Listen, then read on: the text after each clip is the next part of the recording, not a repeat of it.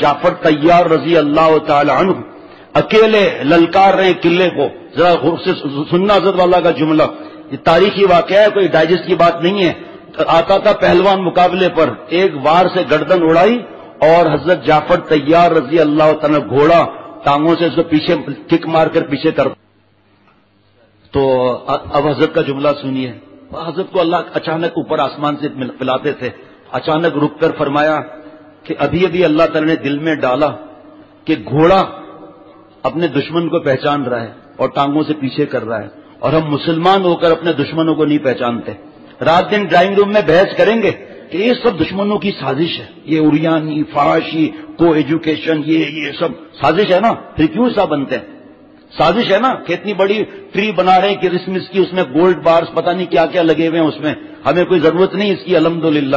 جو اپنے اولاد کو شب برات نیو ایئر، چودہ اگست اور میچ میں پاکستان کا جیتنا، اس پر جو اپنے اولاد کو پیسے دیتے ہیں نا، فائر ورکس کے لیے پھل جڑیوں کے لیے، پٹاخوں کے لیے، شب برات سب ان کے والدین سے پوچھا جائے گا۔ اور اگر والدین جو ہے وہ اطاعت میں نہیں ہے تو ختم بات، جو والد پیسہ دے رہا ہے، جاؤ، نیو ایئر ہے، گھوم کر آؤ، اپنی گرل فرینڈ کو بیٹی کو پیسے دے رہے ہیں، ویلنٹائن ڈے میں۔ بتاؤ، شرم کا مقام ہے۔ بیٹی کو پیسے دے رہے ہیں، بیس بیس پچیس ہزار روپے۔ جاؤ اپنے بوائے فرینڈ کے ساتھ جا کر فائیو اسٹار ہوٹل میں جا کر، رات بیٹھو وہاں پر جا کر چائے پیو، ساتھ میں کھانے بھی کھاؤ۔ پچیس پچیس پچاس ہزار روپے۔ اللہ نے اس لیے پیسے دیے ہیں۔ اسی وجہ سے ہر وقت ہم تکلیفوں میں ہیں۔ اللہ تعالیٰ جو خالق اور مالک ہیں دل کے، جو سوئٹزرلینڈ والے گھڑی بنا سکتے ہیں واٹر پروف اللہ تعالیٰ اپنے پیاروں کے دل کو غم پروف نہیں بناتے۔ جیسے ہم سے الجھے ہوئے ہیں کہ وہ نیک نہیں بن رہا تو میں کیوں نیک بنوں؟ یہی چیز ہمیں مارتی ہے۔ حضرت جعفر تیار رضی اللہ تعالیٰ عنہ کے بعد یہ دل کہاں سے آیا؟ حضور صلی اللہ وسلم کی صحبت کی برکت سے۔ وہ فیضان تھا، محمد الرسول اللہ ولدین ماہ کہ حضور صلی اللہ علیہ وسلم صحبت ایسی ملی کہ آپس میں رحمت کی شان اور کفار پہ اشد تھے۔ یب تغون فضلم من اللہ و رضوانہ۔ اس صحبت کا فیضان تھا کہ اللہ کی رضا اور خوشنیدی کو تلاش کرتے تھے۔ اور میرے پیرے شیخ، کیا فرماتے ہیں؟ فرمایا، دیکھو، نقل تو کرنی ہے اللہ تعالیٰ کے نبی صلی اللہ تعالی وسلم کی اور حضور صلی اللہ تعالی وسلم فرماتے ہیں، میرے صحابہ، ستاروں کے ماننے دے، کسی ایک کی ابتدا کرو گے، ہدایت پا جاؤ گے۔ تو ہمیں نقل کرنی ہے، صحابہ رضوان اللہ علیہ مجمعین کی بھی، ان کی بھی سنت پہ عمل کرنا ہے۔ اللہ تعالیٰ کی رضا اور فضل کو ڈھونڈتے ہیں۔ اور پر میں آج مسلمان لڑکی اور زنا، لڑکا اور بد فیلی گندی فلمیں، ہاتھ سے جوانی برباد کرنا، جہاں تنائی ملی، شیخ تنائی ملی، میں نے گناہ کر لیا۔ شرم کرنا چاہیے مجھے اور ہم سب کو۔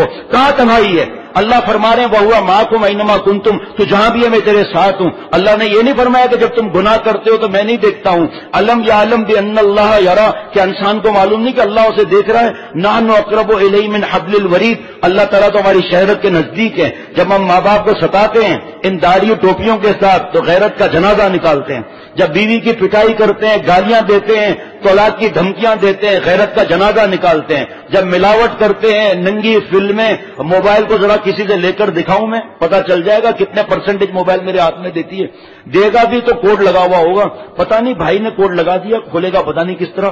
توڑو اس کو موبائل کو تاکہ کوڈ بھی ٹوٹ جائے۔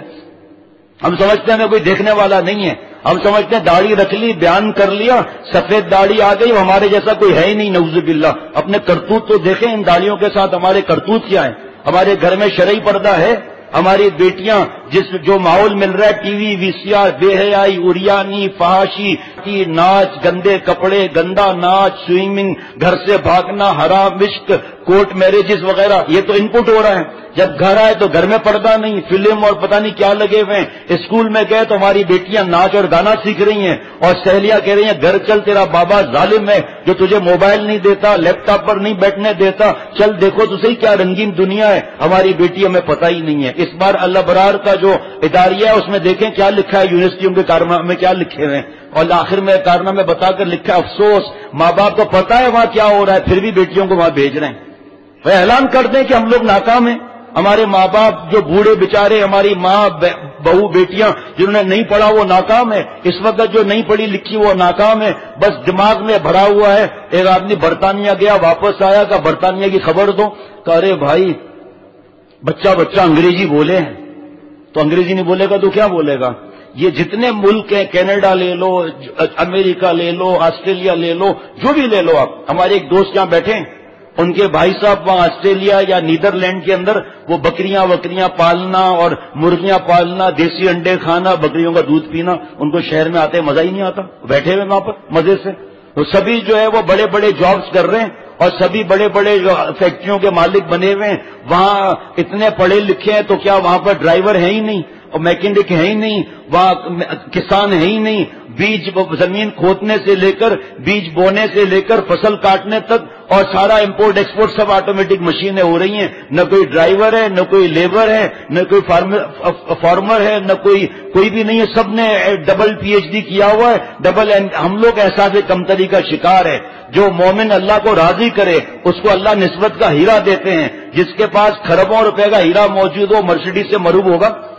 مروب وہی ہوتا ہے ان کفار کے طریقوں سے جس کے دل میں اللہ کی محبت نہیں، وہی ماں مروب ہوتی ہے اور اپنی بیٹیوں کو بچپن سے جینس پینٹ اور شرٹ پہناتی ہے۔ یہاں اب تک جتنے بچے آئے ہیں معصوم تین تین چار چار دن کے دم کرانے کے لیے، میں ان کو کہتا ہوں، رکو، پہلے سب دوستوں کو دکھاؤ۔ کہ اس کے کپڑے پر کوئی تصویر ہے؟ بچہ یا بچی، ٹوپی پر ساکس پر، جوتے پر اور کمبل پر اور پھر لپیٹنے والا یہ اور کپڑے دکھاؤ، کسی پر تصویریں نہیں۔ ان کو بغیر تصویر کے کپڑے کہاں سے ملے؟ تو جناب، حضرت والا پھول پوری رحمت للکارا بھاگے دس ہزار ہندو۔ دو چیزیں چھوڑ کر بھاگے۔ ایک جوتے اور ایک جھاڑا۔ جھاڑا سمجھتے ہیں؟ نہیں سمجھیں گے، ہندوستان کی بولی ہے پخانا یہ بھاگے ہندو۔ یہ ہے مسلمان کو ایمان کی طاقت۔ حضرت جعفر تیار رضی اللہ تعالیٰ عنہ، اے دردن اڑا رہے ہیں، گھوڑا پیچھے لات مار کے پیچھے کر رہا ہے، قلعے پر لرزہ تاری ہے۔ بادشاہ نے سب بڑے بڑے سپال سالار کو بلایا، کہا نالا کو تو پمپر نہ ہونے کی وجہ سے تو نے محل کے اندر اتنا جھاڑا کیا ہوا ہے۔ ابھی اکیلا آدمی ہے اور ایک ایک کو للکار رہا ہے، ایک ایک گردن اتار رہا ہے۔ تم کو ہم نے پچاس سال، تیس سال کھانا کھلایا اور اتنا تمہارے کو پیسہ دیا۔ ارے گدو تم ایک آدمی سے ڈر رہے ہو؟ دل میں انہوں نے کہا، زبان سے نہیں بولا کہ بادشاہ تم بڑا گدا ہے۔ زبان سے نہیں بولا کہ بادشاہ تم پاگل ہے یہ اکیلا تھوڑی لڑ رہا ہے۔ اس کی ایمان کی طاقت کی وجہ سے اللہ ساتھ ہے، اس طاقت سے لڑ رہا ہے یہ۔ صحابہ جیسی طاقت کسی کو نہیں آ سکتی۔ لیکن ان کی نقل اور گناہ نہ کرنا، معاشرے کے گناہوں کا حصہ نہ بننا اور یہ فائر ورکس بچوں کو نہ دکھانا پیسے اب وہ اپنے دوست سے لے کر کرتا ہے تو آپ کی ہماری پکڑ تھوڑی ہوگی۔ بیٹیوں کو جو بھیجے بیٹیاں بوجھ ہیں، ان کے عزت کے ہیرے کا خیال نہیں ہے۔ وہاں پر جا کے کیا کریں گے؟ کرسمس یعنی کہ جو حضور صلی اللہ علیہ وسلم کا میں نے آپ سے عرض کیا کہ حضور صلی اللہ علیہ وسلم فرمایا، اے صحابی، یہ آج تم اتنا گھر کے مجھ سے کیوں دیکھ رہے ہو؟ کہ اے نبی صلی اللہ علیہ وسلم، آپ اللہ کے پیارے ہیں، آخری نبی ہیں، آپ کا مقام اتنا اونچا ہے کہ بادش خدا، بزرگ، تو ہی قصہ مختصر۔ تو اس لیے دیکھ رہا ہوں کہ وہاں جنت میں آپ کا پتہ نہیں کیا مقام ہوگا۔ اور ہم آپ کو کیسے وہاں دیکھ سکیں گے؟